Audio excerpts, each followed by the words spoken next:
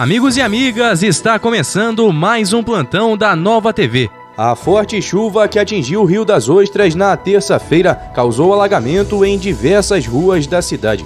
Moradores relataram em vídeos que circulam nas redes sociais que as localidades mais atingidas foram Cidade Praiana, Extensão Serra Mar, Nova Cidade e Âncora.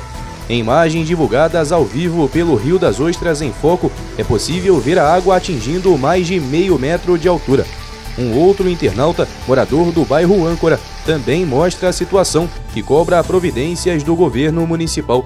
A prefeitura, por meio da Defesa Civil, declarou estado de emergência na cidade após as avaliações dos corpos hídricos.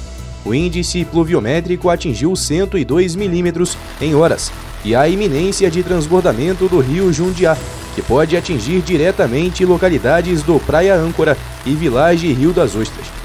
O canal de Medeiros já atingiu seu limite máximo.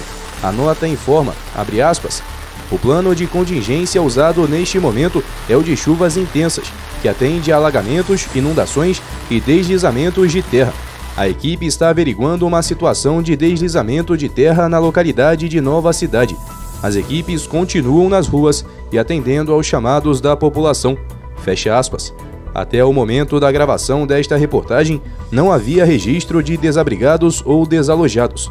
A Secretaria de Assistência Social preparou o Centro Integrado de Convivência Dr. Gilberto Barcelos, em Nova Esperança, para receber quem precisar e vai definir pontos de doação de alimentos destinados às pessoas nestas situações.